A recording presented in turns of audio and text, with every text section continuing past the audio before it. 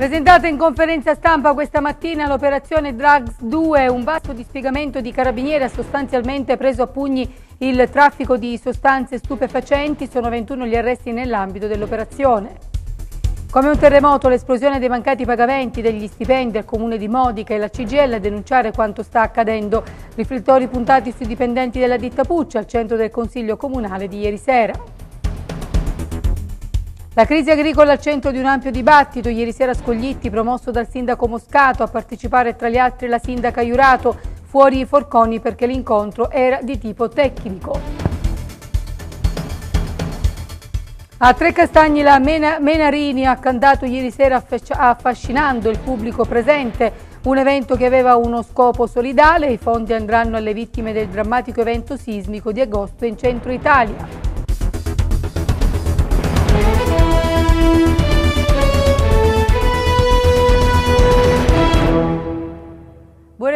Telespettatori di MTG e bentrovati ad un nuovo appuntamento con l'informazione su Video Mediterraneo. Dunque l'apertura anche questa sera è dedicata alla vasta operazione antidroga portata a termine dai carabinieri del comando eh, provinciale di Ragusa. Aggredito il mercato dello spaccio in provincia, un duro colpo dunque è stato inferto dai militari dell'arma che questa mattina hanno eseguito 21 ordinanze di custodia cautelare. Il sodalizio composto da pregiudicati italiani e albanesi operava prevalentemente nella zona dell'Ipparino. I militari dell'arma hanno inoltre sequestrato un cospicuo quantitativo di cocaina e 35.000 euro in contanti. Per noi c'era Carmela Minardo.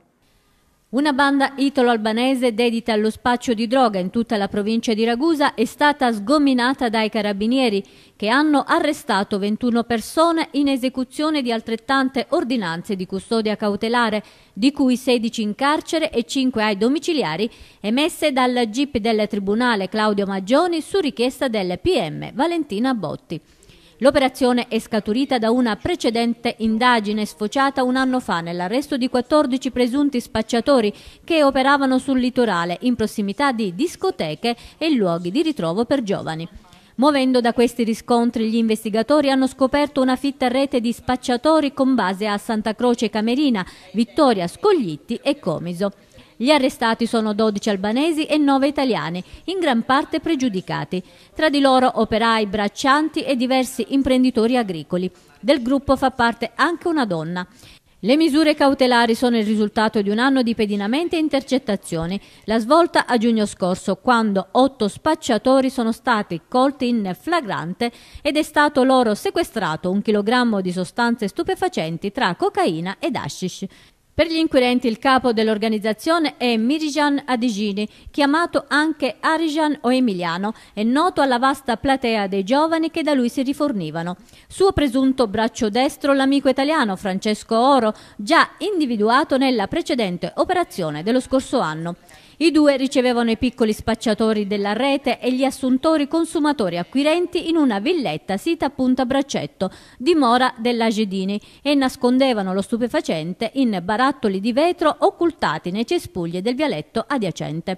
A volte lo spaccio avveniva in altri luoghi come la spiaggia, ma anche in questo caso i carabinieri, in costume come altri bagnanti, sono riusciti la scorsa estate a cogliere sul fatto gli spacciatori.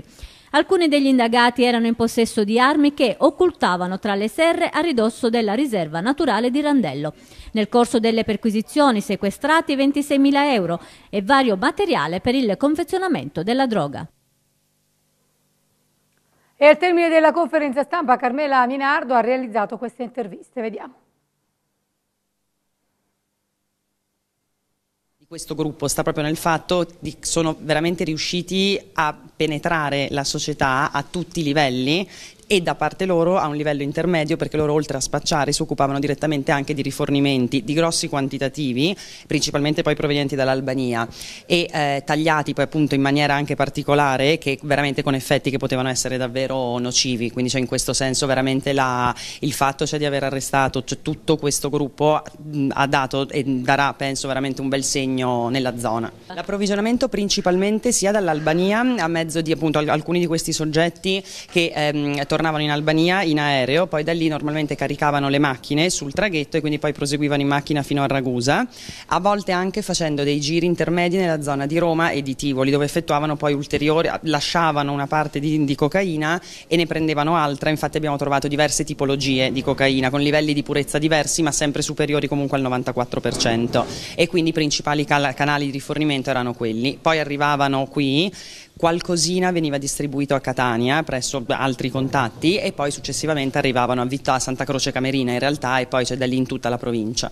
Purtroppo il fenomeno droga è un fenomeno che cresce e addirittura sappiamo benissimo che l'età dei giovani che si avvicinano alla droga si abbassa sempre di più, ora siamo intorno ai 14 anni, quindi è sempre alta l'attenzione dell'arma su questo fenomeno e in particolare del comando provinciale di Reusa. Oggi riteniamo di aver dato un duro colpo a questi spacciatori, arrestandone ben 21 eh, che appunto avevano messo su una vera e propria organizzazione composta da soggetti pregiudicati con precedenti specifici sia italiani che albanesi che erano dediti a questo tipo di reato.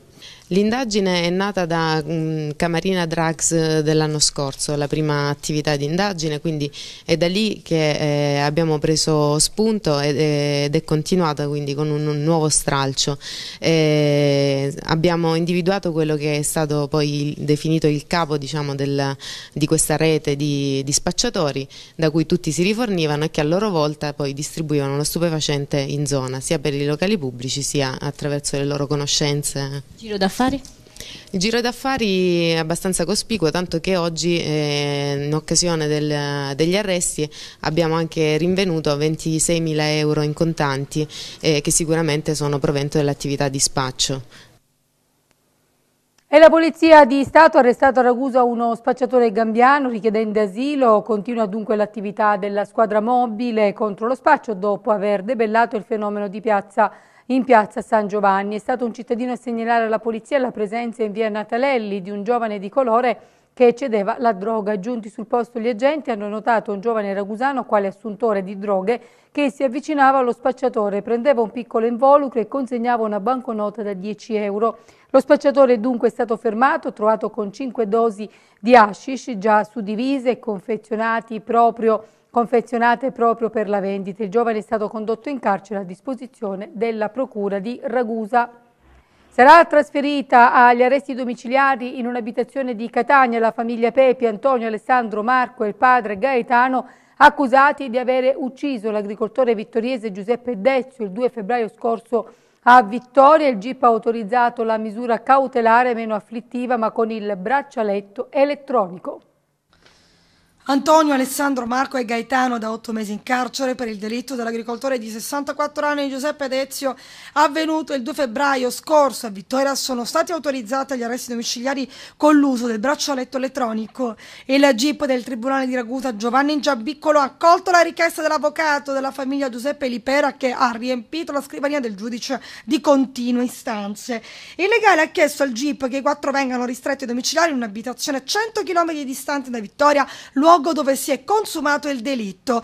Quasi certamente i Pepi prenderanno in affitto una casa a Catania, considerato che il giudice ha rilevato che nel caso di specie vi è l'opposto pericolo attuale e concreto di una sorta di faida familiare, di ritorsione ulteriori episodi di violenza reciproca, considerati i tesissimi rapporti tra le due famiglie. Il GIP Giampiccolo, accogliendo l'istanza, però chiesto al legale l'individuazione di un'idonea abitazione, l'applicazione della procedura di controllo del braccialetto elettronico, i controlli sull'osservanza della misura saranno effettuati effettuati dai carabinieri della Compagnia di Vittoria con facoltà di subdelega. Una piccola battaglia vinta dalla famiglia Pepi. Le mogli avevano organizzato un sit-in pacifico davanti al tribunale di Ragusa per chiedere la liberazione dei loro congiunti. A casa ad attenderle ci sono anche i figli minori che hanno chiesto di riavere i loro papà.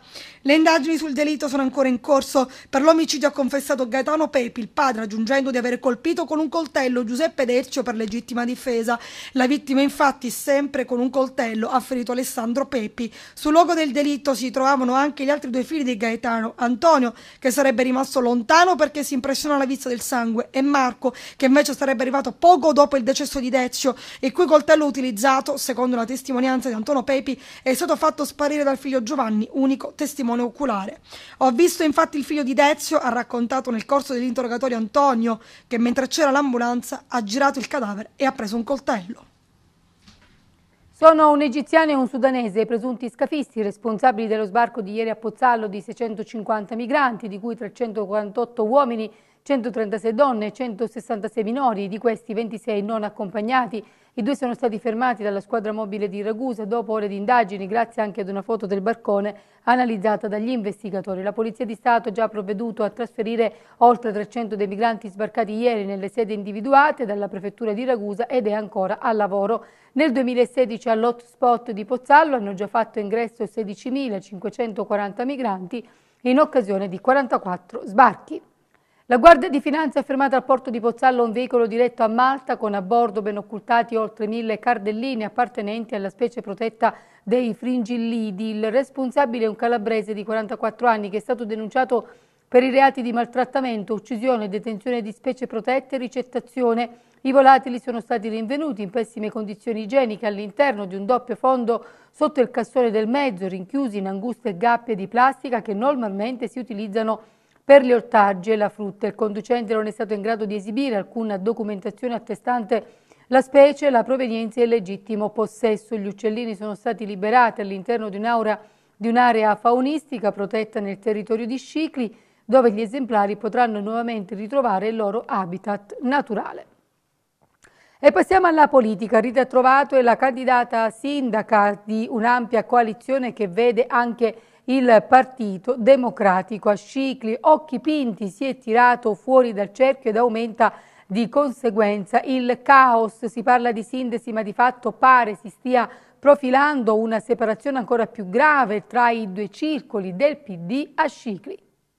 L'ex senatore Mario Occhipinti si è ritirato dalla candidatura del Partito Democratico per le prossime amministrative e l'accordo Padua-Minardo-Ragusa è andato in porto.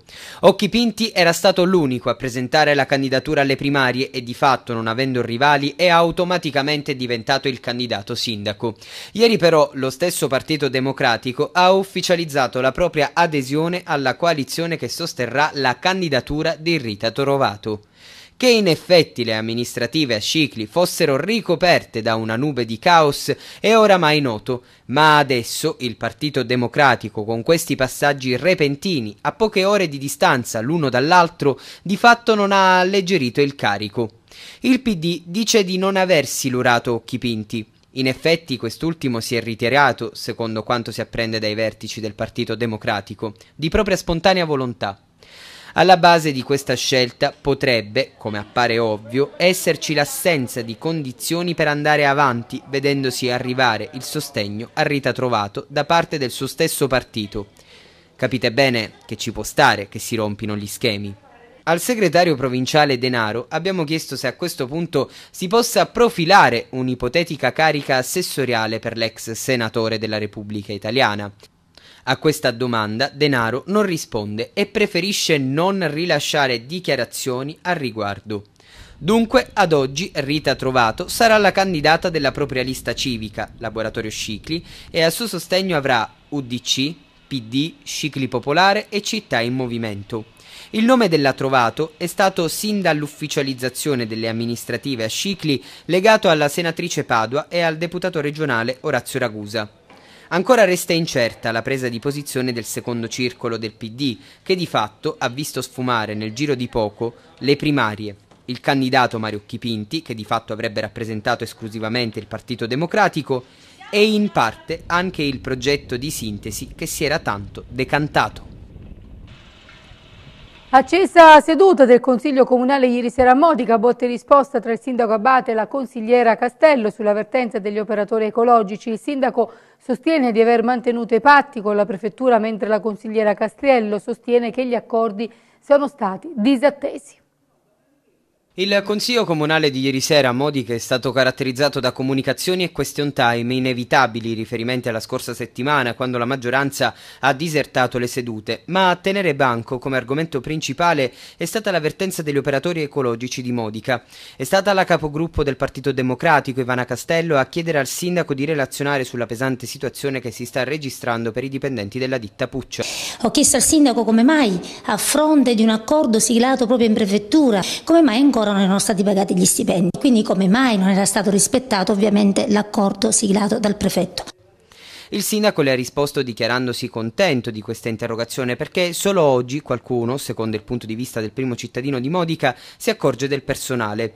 Rispetto ad un mandato di 404 mila euro la ditta Puccia ha pagato solo una parte. Bisogna capire se dobbiamo fare gli interessi dell'impresa o dei lavoratori, ha sottolineato il primo cittadino che ancora ha rimarcato come dopo l'accordo in prefettura tutti i mandati soddisfino la uh, ditta Puccia per pagare gli emolumenti. Il ritardo è stato causato, ha dichiarato Abate, da somme bloccate dalla Serit alle poste italiane.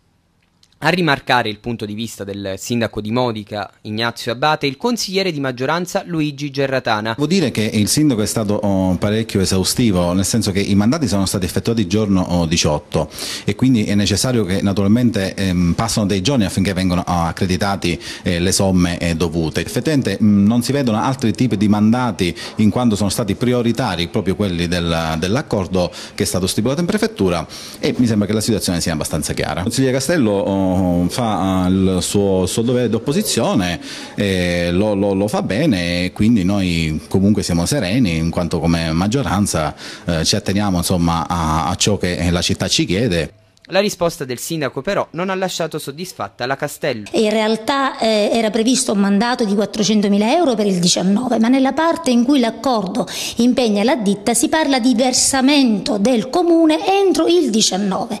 La parola versamento proprio fa pensare a che cosa? Che i mandati avrebbero dovuto avere la copertura finanziaria.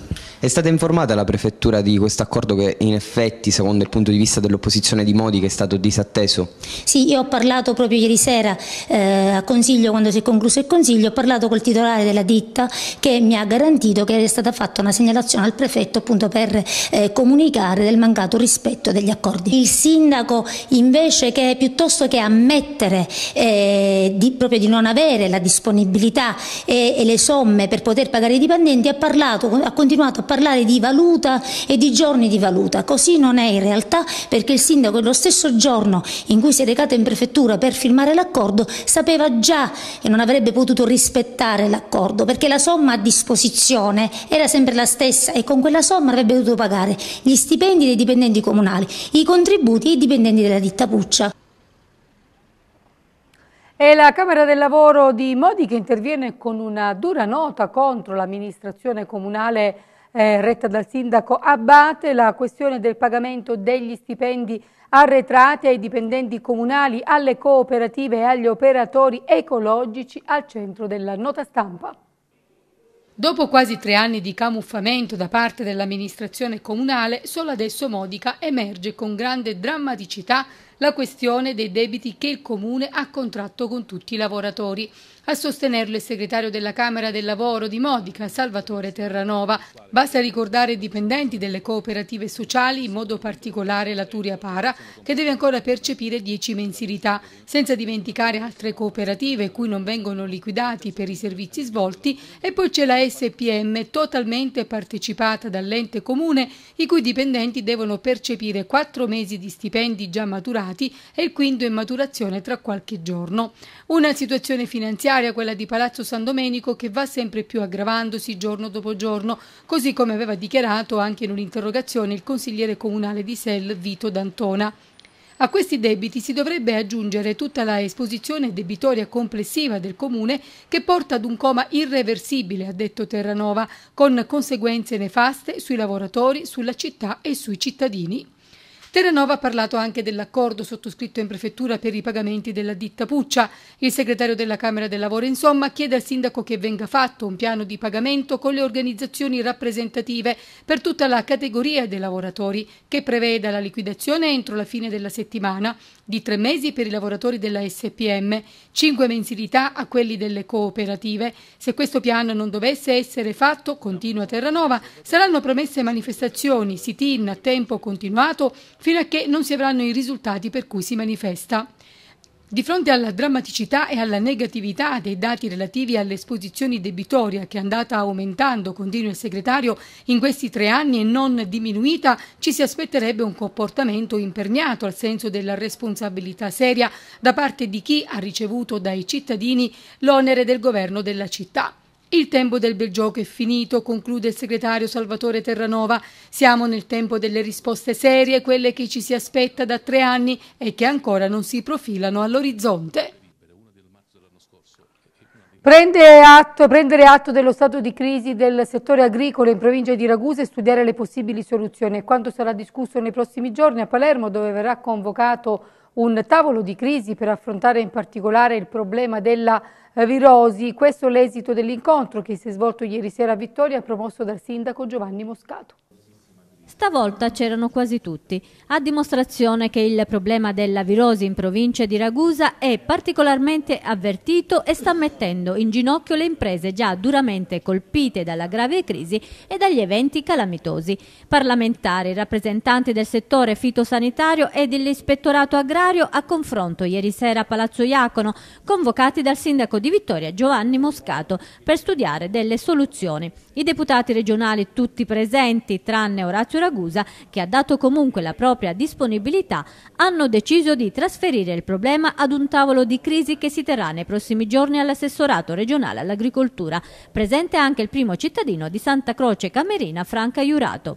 Noi siamo parte lesa come territorio, come amministrazione, come rappresentante dei cittadini e dei nostri produttori. Allora io abbiamo lanciato il nostro grido allarme alla deputazione Iblea perché è l'amministrazione regionale che deve dare risposte. Proprio per questo motivo io questa sera ho invitato la deputazione Iblea, ho invitato l'ispettorato agrario, ho invitato il centro fitosanitario e l'ordine degli agronomi proprio per ricercare delle soluzioni tecniche da poter dare alla regione. Anche i rappresentanti delle università e del servizio fitosanitario saranno coinvolti. Il problema è, è di una virosi, un problema che difficilmente si può risolvere con, eh, se non in futuro con della prevenzione. Anche poi quando eh, sapremmo di che cosa, eh, qual è, chi è l'organismo, che è il virus che è agente di, questo, di questa virosi, potremmo aver, saperne anche di più come eventualmente difenderci, ma al momento non siamo in grado e non abbiamo la possibilità di dare indicazioni, se non l'indicazione di routine relativamente alle virosi. Altresì nel corso del vertice è stato toccato il tema importantissimo delle coperture assicurative e del piano assicurativo agricolo che deve coprire anche il rischio delle fitopatie. Il problema per la risoluzione, come intervenire per danni eccetera, non è che ci sia grande possibilità perché la legislazione eh, regionale prevede aiuti nel caso delle calamità naturali, quindi avversità atmosferiche. Per quanto riguarda eh, la, eh, eh la, questione delle fitopatie e quindi della virosi, eh, c'è una misura ma adesso ancora non è attivata. Ad attendere i parlamentari anche un nutrito gruppo dei forconi a cui è stato impedito l'accesso perché, così è stato detto, si trattava di un confronto rigorosamente tecnico. Branchi di cani randaggi nella zona di Sannullo a Catania stanno mettendo paura alla popolazione alla luce anche di alcune aggressioni avvenute nei giorni scorsi. Per questo motivo il consigliere comunale Sebastiano Anastasi chiede l'intervento dell'amministrazione e soprattutto che si pensi ad una politica seria per affrontare il problema. Sentiamo Sara Donzuso.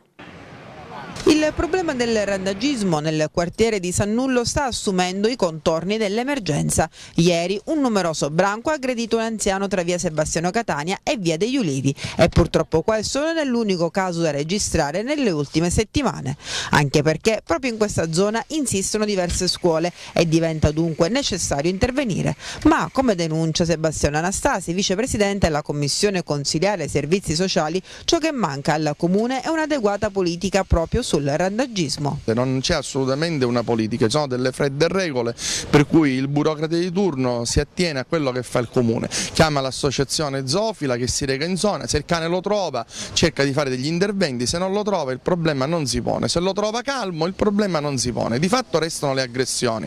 E questi cani dobbiamo considerare ormai hanno fatto diverse cucciolate, secondo i loro ritmi biovitali sono 4-5 generazioni che vivono là, loro avvertono ormai questo territorio come il loro gli ospiti sono i cittadini. Non è più possibile andare avanti così perché le aggressioni che vengono registrate sono a, causa di, a carico di motociclisti, biciclettisti, anziani e bambini, i soggetti più a rischio. Tra l'altro lei ha citato i bambini proprio nelle zone, stiamo parlando via Sebastiano Catania, via degli Ulivi, via Le Tirreno, insistono diverse scuole. Esistono diverse scuole, insiste la struttura sportiva del CUS Catania, insiste l'unico ipermercato della zona, è una situazione davvero esplosiva. E adesso parliamo della Kermesse Musa d'Argento che si è tenuta lo scorso fine settimana a Scoglitti. Moda, cinema, televisione, teatro, scultura, pittura, queste le arti che si sono incontrate al concorso Musa d'Argento che ha avuto il suo clou nella finale nazionale che si è tenuta nei giorni 21, 22 e 23 ottobre in quelli Scoglitti presso l'Atena Resort, frutto di un lungo lavoro durato circa un anno in cui la siciliana Lucia Aparo ha selezionato giovani talenti a cui dare l'opportunità di una visibilità concreta. Veniamo ai premiati. Per la categoria canto è stata premiata Marta Barrano che ha vinto un contratto discografico di un anno e la candidatura per il Festival di Sanremo 2018 sezione giovani. Categoria cinema, miglior attore, Luca Soares ha ritirato il premio Andrea Traina, premiato da Pierfrancesco Campanella, produttore cinematografico. Premio migliore attrice Elisabetta Pellini, miglior corto Anatomia di un amore con la regia di Manuela Tempesta. Miglior film lungometraggio Dolce di latte di Gianni Leacche, premio consegnato da Barbara Enrichi a Pietro Innocenti, produttore. Miglior documentario Il toro di Wall Street di Arturo Di Modica ha ritirato il premio Andrea Traina, consegnato dall'attrice Lucia Sardo.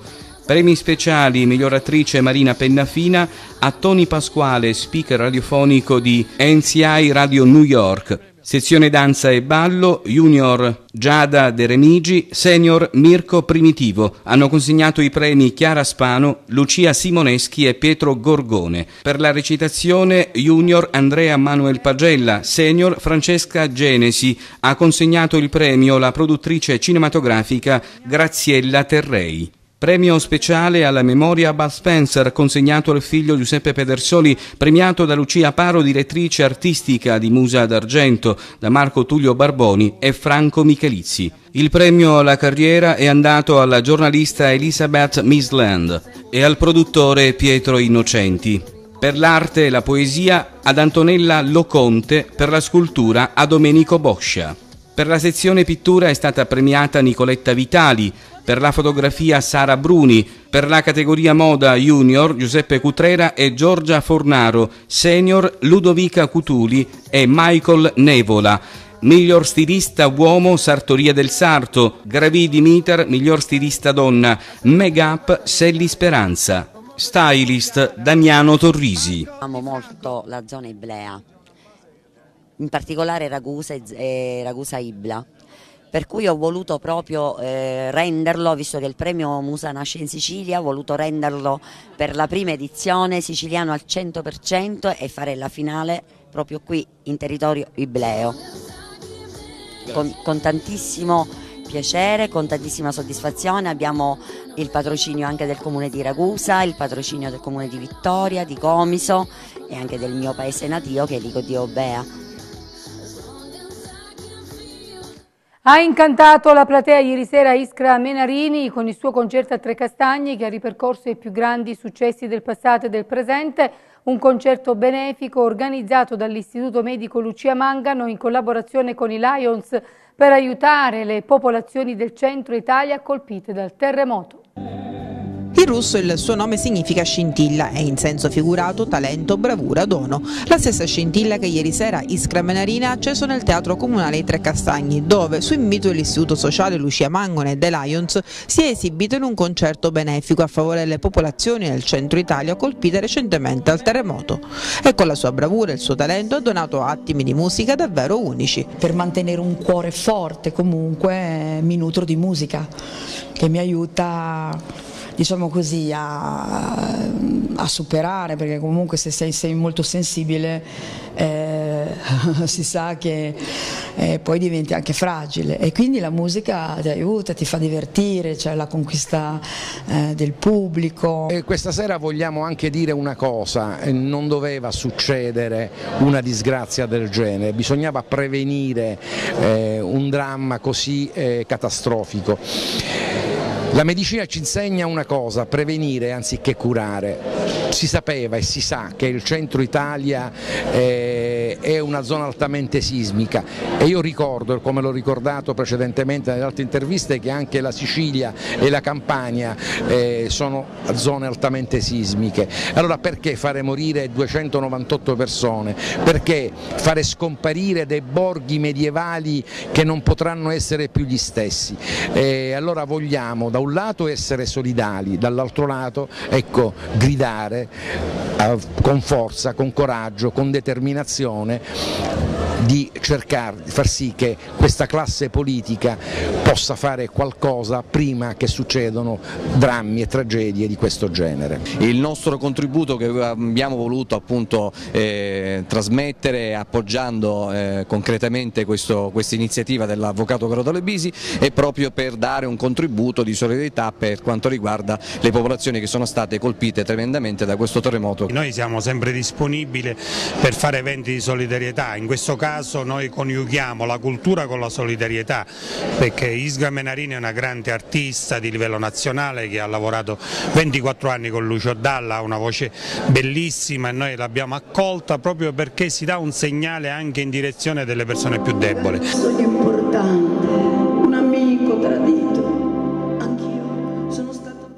E non ci sono ulteriori aggiornamenti, concludiamo qui questa edizione di MTG, grazie come sempre per averci seguito, vi auguro una buona serata, arrivederci a domani.